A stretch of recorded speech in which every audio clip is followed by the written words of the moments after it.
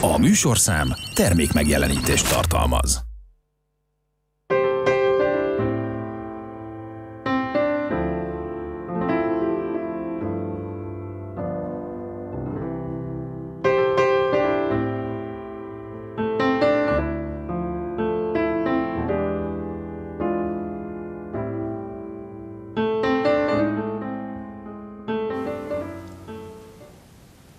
Szép jó estét kívánok, köszöntöm a Fehérvári Beszélgetések nézőit.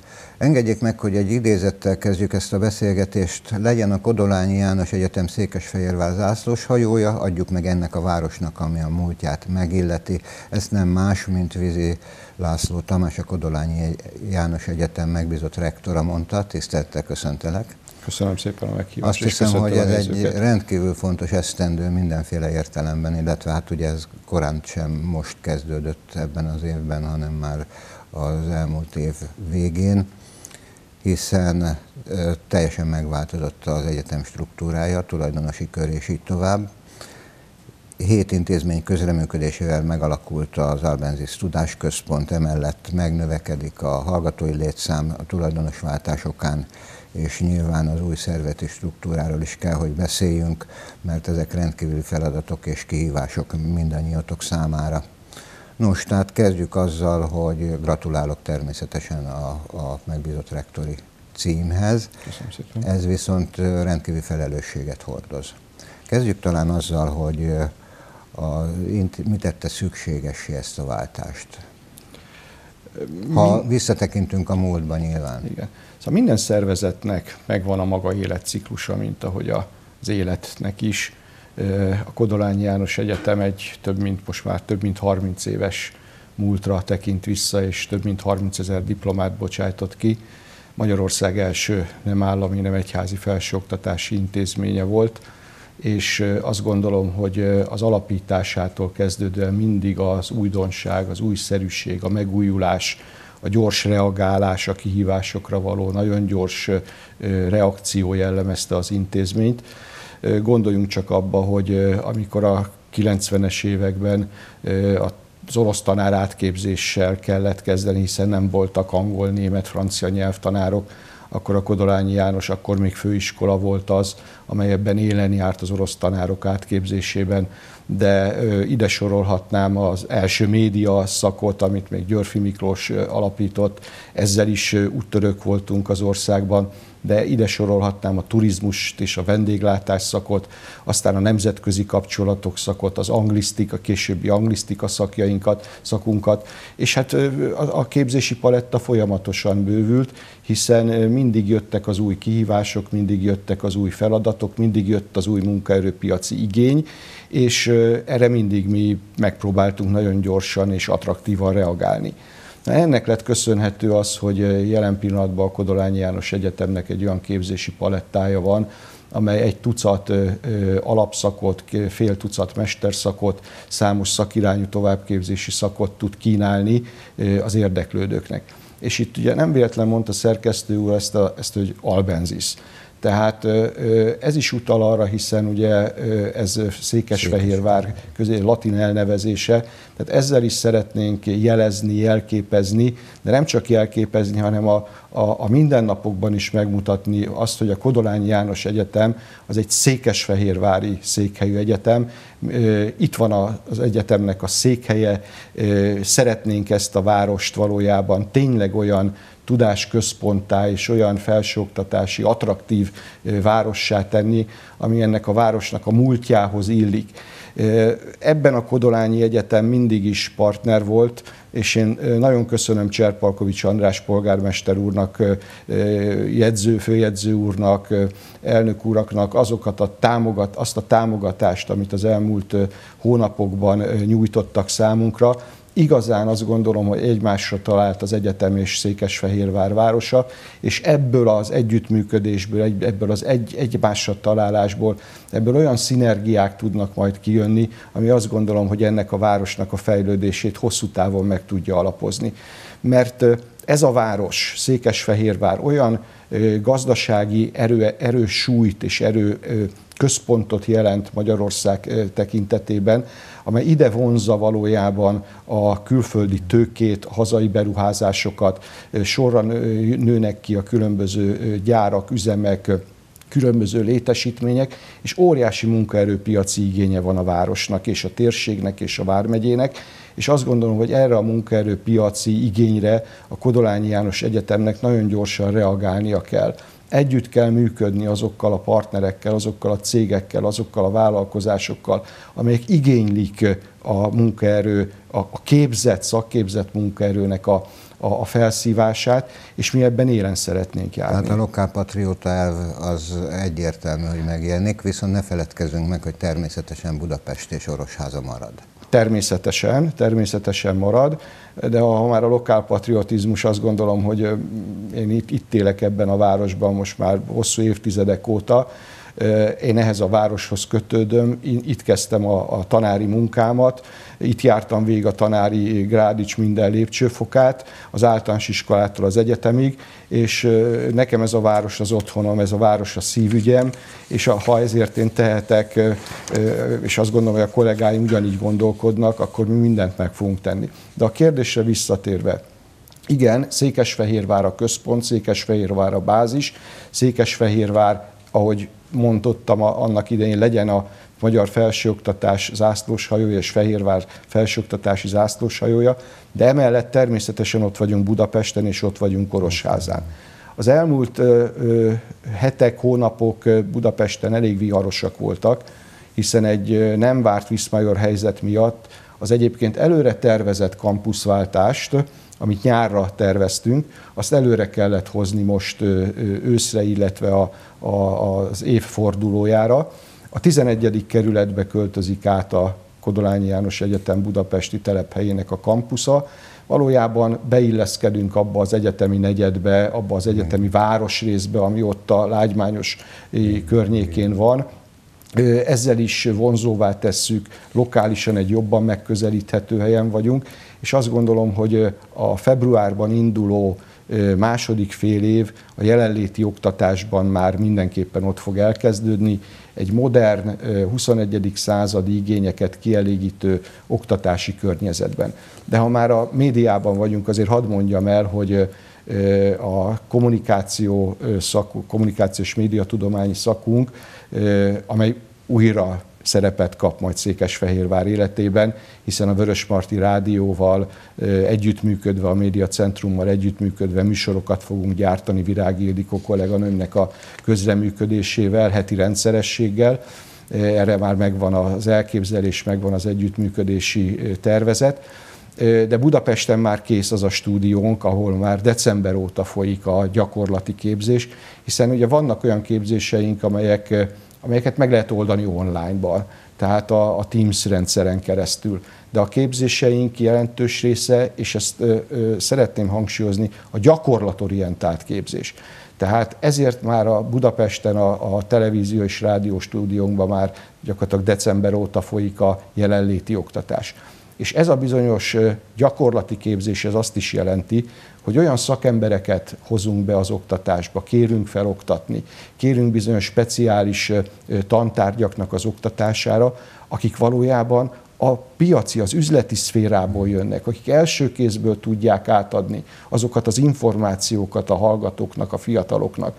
Nem, nem, nem az Természetesen az elmélet is fontos, de itt a gyakorlatorientáltság, és nem csak azokon a szakokon, amelyek kifejezetten gyakorlatorientáltak, mint például a kommunikáció és médiatudomány, hanem azokon a szakokon is, amelyek ugye hagyományosan, konzervatívan elméleti szakok. Ezért voltak azok az együttműködési megállapodások, azoknak a sora, amelyet az ősz folyamán kötöttünk, Gondolok itt például, amit decemberben megkötöttünk a Szent István Király Múzeummal, a Székesfehérvár város levéltárával. Tehát azok a hallgatók, akik közösségszervező, történelem szakra jelentkeznek, azok ott valójában a, a, a szaknak a, a, a, a frontvonalában tudják megismerni, és tudják elsajátítani a képzéseket. Tehát kifejezetten fontos, amit mondtál, de a legfontosabb a képzési kínálat erősítése mindenképpen. Pontosan Tehát, így van. És ez mindhárom helyszínen. Ezt gondolom, hogy a Pro Universitate Albenzis a névben is bizonyos értelemben szerepel, és hát a befektetők elvárásainak is megfelel. A, ugye a tulajdonosi körről most ne beszéljünk, viszont a, mennyire elemeztétek a munkaerőpiaci lehetőségeket, hiszen az alapképzés eddig is megvolt, ehhez csatlakozik a mesterképzés és új dolgok, mint a kulturális szféra vagy a sportszféra például. Az intézmény strukturális átalakulásakor az elnök úr, tehát a Kodolány János Egyetem ugye több lábon álló, több struktúrából álló intézmény, a szervezeti struktúrája. Ugye egyrészt van az akadémiai szféra, amelyet közvetlenül itt az oktatási rektor helyettes irányításával, oktatási igazgatóval, tanszékvezetőkkel együtt valójában a rektor irányít. Elnök úr a fejlesztésekért és a, a részben a, a fejlesztésekhez kapcsolódó tudományos profilér, illetve pályázatokért felel. Na, ő volt az, aki valójában ezeket az elemzéseket már régóta, hónapok óta elkészítette, pontosan tudjuk azokat az igényeket, amiket a város és a vármegye egyébként már korábban is megfogalmazott. Bizonyos fékek azért ott közbejöttek, közbeékelődtek, de ezeket a fonalakat most felvesszük, újra gondoljuk. Miről is beszélek? Arról beszélek, hogy a, a, a szociális téren a szociális téren óriási kihívások várnak, és várnak a Vármegyére, vár a városra. Képzett szakemberekre van szükség a szociális téren. Ebben mindig erősek voltunk egyébként, a, a, amióta megvan ez a szak, azóta ebben mindig erősek vagyunk, de most erősíteni kell ezeket a képzéseket. De ott van például az óvodapedagógus képzés. Rengeteg óvónőre lenne, képzett óvónőre lenne szükség és hát azt gondolom, hogy a kedves hallgatók, nézők, azok megerősítik azt, hogy, hogy a, a, a tanítóképzésben erősödnünk kell. Meg kellene szerez, szerveznünk a tanítóképzést. Persze ezek ugye mind akkreditációs folyamatok, nem olyan gyorsak, de a feladat ott van, a kihívás ott van, a munka elindult.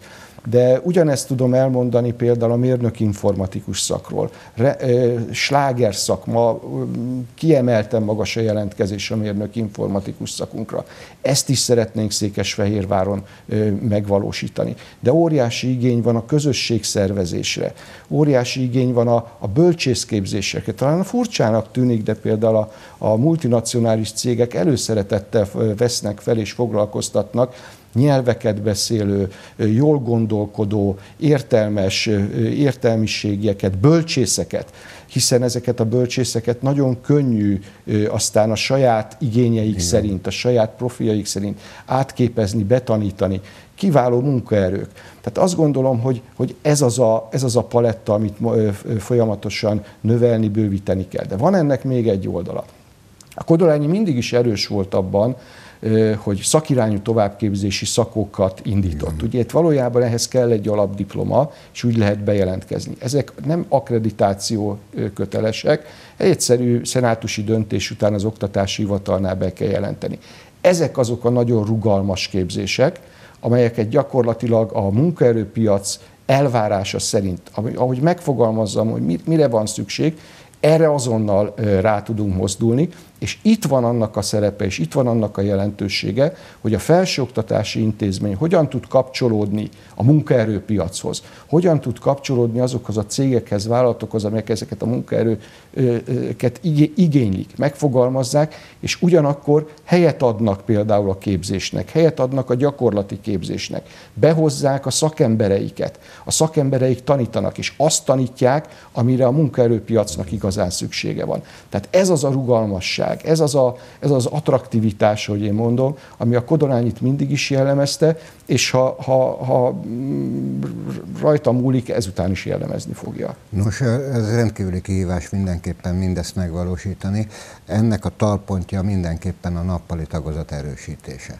Ez... Tehát azokat a szakokat, amelyeket az imént felsoroltál, az nyilván nagyon fontos az alapképzés, de ha itt körbenézünk, ugye a szociális területről már esett szó, de a turizmus, a, a tanár, illetve a nyelvtanár és ráadásul ami újdonságnak tűnik nekem, tehát a honvédséggel is megszületett az együttműködés, ami előrevetíti, hogy nyilván olyan informatikai képzés is indul, ami, ami megfelel a Magyar Honvédség kívánalmainak.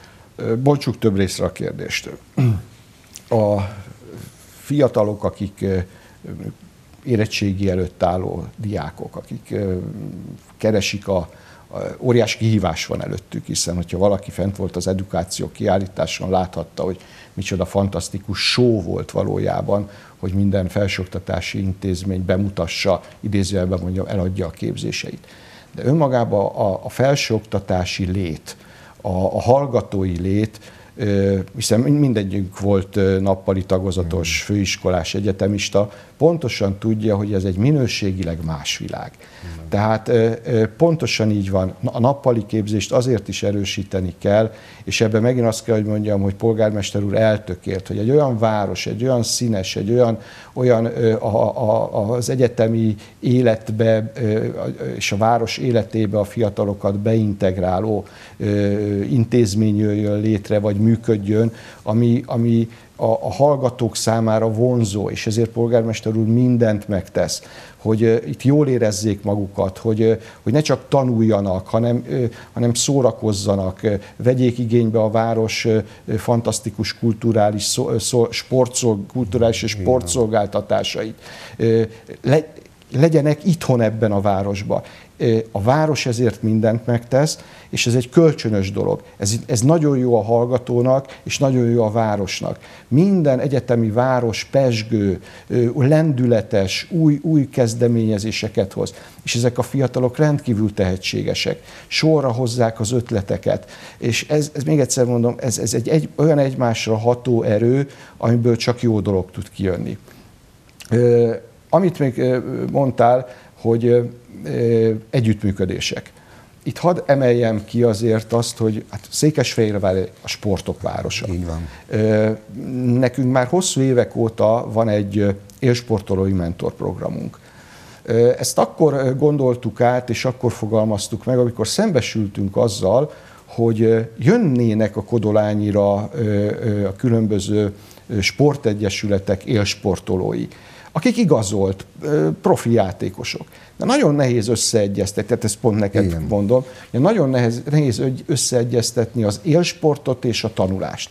Ezért azt mondtuk, hogy ne választania kelljen a fiataloknak. Ne választani kelljen, hanem adjuk meg a lehetőséget. Dolgozzunk ki egy olyan mentorprogramot, amikor minden élsportoló mögött, vagy élsportolók mögött ott van egy-egy mentortanár aki seg, kapcsolatban áll az edzővel, kapcsolatban áll a sportoló hallgatóval, segíti, támogatja, hiszen a sportoló elmegy, edzésekre jár, nem biztos, hogy tudja látogatni az órákat, versenyeztetik, versenyekre jár, utazik, edzőtáborban van, és a többi, és a többi. Ez ne legyen hátrány, ez legyen előny. Fordítsuk az előnyére a sportolónak, álljunk mellé, hiszen én mindig azt szoktam mondani, amióta tanár vagyok, hát ennek már több évtizede, hogy itt egy közös cél van. Hiába van az, hogy én a katedra egyik oldalán állok, ők meg a másik oldalán. Itt a közös cél a sikernek az elérése. Sikeressé tenni a hallgatókat, a tanulókat abban, hogy elérjék a céljaikat. És ez egyébként a szülőknek is az érdeke. És a szülők is ezt várják el valójában a felsőoktatási intézménytől, hogy kihozza a hallgatókból azt, ami bennük van, kihozza belőlük a lehetőséget, találja meg bennük a, a, a legfontosabb értékeket, és ezeket az értékeket erősítse, támogassa, és juttassa el ezeket a fiatalokat tényleg a karrier ösvénynek arra a pontjára, ahonnan aztán majd tovább tudnak lépni, tovább tudnak indulni. Ugye ez a célunk, az alapképzéstől gyakorlatilag a mesterképzésen át, és hát nyilván nem titkolt cél, hiszen ez már réges-régóta megfogalmazódott célként, hogy azért az alkalmazott tudományok egyeteme után azért jó lenne majd egy doktori iskolát is Világos. az egyetem mellé tenni, akkor lenne teljes a képzési paletta, de hát én most nem, nem feltétlenül ebben gondolkodom, bár a, a, a hosszú távú gondolkodásomban ez is benne van, de azt gondolom, hogy a szakirányú továbbképzésen keresztül ennek a képzési palettának az ilyenfajta bővítése, ez, ez jó a városnak, jó a vármegyének, jó a szülőknek és jók a hallgatóknak. És még egy fontos dolog, hogy említetted a, a Magyar Honvédség egészségügyi központjával való együttműködésünket. Egyébként a sporttal kapcsolatban ugye a Magyar Olimpiai Bizottság kiemelt partnerei vagyunk. Néhány héttel ezelőtt írtam alá Gyulai Zsolt mobelnök úrral ezt az együttműködési megállapodást, amely tovább erősíti ezt az élsportolói mentorprogramot. De például a, a, a, Magyar Honvédség egészségügyi központja azzal keresett meg bennünket, hogy rendkívül hiány van a mérnök informatikusokban. Azokból az informatikusokból, akik, akiket utána fel fog szívni egyrészt a Magyar Honvédség, másrészt pedig ugye a, a, a, a, a NATO kötelék igényei szerint óriási az igény ezekre a fiatalokra. De nem csak a Magyar Honvédségben, mindenhol óriási igény van. De ott van a mesterséges intelligencia. Ebben is szeretnénk előrelépni. Nem véletlen jött létre egy mesterséges intelligenciával kap összefüggő kutatóintézet. De említetted a, a turizmust, és bocsánat, hogy ilyen Világos. gyorsan mondom, de nagyon sok minden van. Együttműködési megállapodást kötöttünk az Aktív Magyarországért turizmus államtitkárságával olyan alapvető kutatásokat fogunk számukra végezni, amelyek például a Velencei tó térsége, például a mezőföld turisztikai megújításának a, a kérdésével fog foglalkozni. Létrehoztunk ezért a turizmus tanszéken belül egy, egy aktív Magyarországért turizmus tanszéki csoportot. Ez a munka elindult, ez a munka gyakorlatilag már szélesedik, hiszen a kerékpáros turizmusra is rá fogunk mozdulni, az ökoturizmusra is rámozdul ez a kutatóintézetünk. Tehát azt gondolom, hogy óriási lehetőség, és nem csak a kihívás, a kihívások megvannak, de ezekre a kihívásokra meg kell adni a megfelelő szakszerű választ. És talán még egy fontos dolog itt Székesfehérváron, hadd mondjam el azt, hogy, hogy ez a képzési paletta és ez a képzési kínálat, amit most mi tudunk kínálni, ez arra is alkalmat ad, hogy a szülők és a pályaválasztás előtt álló diákok gondolják át, hogy Székesfehérváron maradni, Székesfehérváron egyetemistának lenni, az nem csak jó dolog, hanem ennek azért megvannak a, a, a költségviselési oldala is. Igen. Tehát ne felejtsük el, hogy ha valaki elhagyja a szülői házat, persze mindenkinek ez egy vágya, de ez egy nagyon komoly költséget ró azért a költségviselő fél és a szülők. Tehát itt a szülőknek is óriási felelőssége van, előre kell gondolkodni, meg kell nézni nyilván a, a családi költségvetést, de ha már költségvetésről van szó, bizonyára fogunk arról még beszélni, hogy a Kodolányi János Egyetem az elmúlt 10-12-15 évben költségtérítéses formában működött, minimális volt csak a... Igen. És most jöhet az 500 fő, akik állama támogatással. Így van, így van. Ez egy óriási áttörés, hiszen mondom, több mint tíz éve néhány tucat mesterszakos finanszírozott helyen kívül a Kodolányi János Egyetemnek nem volt államilag támogatott képzése.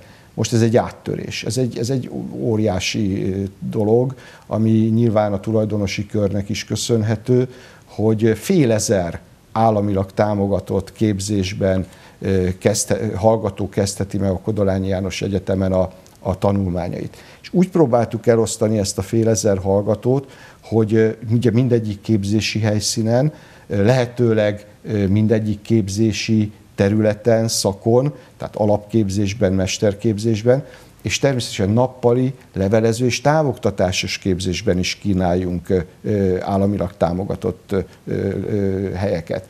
Tehát azt gondolom, hogy ez egy vonzerő. Hiszen, ha az előbb beszéltünk a költségviselésről, nem mindegy, hogy a, az állam viseli a költségeket, vagy a szülő viseli a költségeket. Itt most én azt gondolom, hogy az egyik legfontosabb feladatunk az, hogy eljuttassuk ezt az információt az érintettek felé. Eljuttassuk ezt az információt a szülők felé, a végzős hallgatók felé, hogy a Kodolányi nem csak költségtérítéses képzésben indult el ebben a versenyfutásban, hanem itt, vannak, itt van ez a fél ezer hallgató. A fél ezer hallgató az önmagában már egy jelentős szám, ezért van az, hogy óriási energiával voltunk ott az edukáció kiállításon, és én itt köszönöm meg azoknak a lelkes hallgatóknak, tanárkollégáknak, akik ott voltak. Hát öröm volt látni, és öröm volt hallani, hogy ezek a hallgatók, hogy a saját szakjukat, hiszen ezek ugye bent lévő hallgatók, ahogy a saját szakjukról beszéltek, hát csillogott a szemük, hát mindent elmondtak, de a, a tanárkollégák is, mindenki, aki ennek a szervezésében részt vett. Megyünk a középiskolákba, szülői értekezletekre, nyílt napokra, elmondani a képzési lehetőségeinket. Itt Székesfehérváron, a megye minden középiskolájába ott leszünk. És most pénteken, ugye 19-én lesz a Kodolányi Egyetem második nyílt napja, mindegyik helyszínünk, hogy szeretettel várjuk a, a kedves érdeklődőket, szülőket, diákokat pénteken 10 órakor a technika házában, ugye ez, a, ez a, valójában ugye az egyetemnek a székhelye is, ott lesz ez a, a nyílt nap, ahol egy általános tájékoztatás mellett nyilván a szakokról külön-külön is fognak kapni tájékoztatást, a, de nagyon fontosnak tartjuk azt is, hogy hiszen új felvételi eljárási rend van. Megváltoztak a, a szabályok. Már a tavalyi évben, de az idei évben is új szabályok vannak. És én azt gondolom, hogy nem lesz az hátránya senkinek, hogy ezekről bárhova is jelentkezzen, nem feltétlenül a Kodolányira. De ha tovább akar tanulni, legyen tisztában a felvételi, az új felvételi szabályaival, mert ugye itt azért jogvesztő határidők vannak. Világos. És mi, mi ebben is nyitottak vagyunk, mi ebben is szeretnénk segíteni a szülőket, a, a felvételizőket, hogy egy ilyen jellegű technikai támogatást és tanácsadást is adunk. Tehát egy klasszikus jövőképet kínálnak. Én azt gondolom, hogy eddig is tudtuk a jelző szerkezetekkel, el voltunk látva, királyi város, sportváros, a gazdaságvárosa, Hát és most így együtt a egyetemi városként a Kodolányi vezényletével ebben az értelemben is nagyon-nagyon sokat tehetünk azért, hogy valóban egy olyan jövőkép mutatkozhassék meg a fiatalok előtt, amivel érdemes élni. Én ezt köszönöm meg, és hát én bizakodó vagyok, hiszen az imént elmondottak megerősítik, hogy egy fantasztikus gondolatsor mentén sikerült felépíteni mindazt, ami, ami igazán jeles egyetemmé teheti a Kodolányit, és hát a folyamatos fejlődés záloga pedig, hogy mindezt meg kell valósítani nyilván. Hát ez a nagy kihívás, igen. Köszönöm Azon szépen, vagyunk. hogy megtiszteltél. Én köszönöm, köszönöm a lehetőséget. És ígérem, hogy pénteken igyekszünk ott lenni, hogy beszámolhassunk erről is. Kedves nézőink, önöknek is köszönöm megtisztelő figyelmüket. Vízi László Tamással, a Kodolányi János Egyetem megbízott rektorával beszélgettünk az egyetem jövője, jelenéről, illetve jövőjéről. Érdemes ezt figyelembe venni. Köszönöm megtisztelő figyelmüket. Viszontlátásra!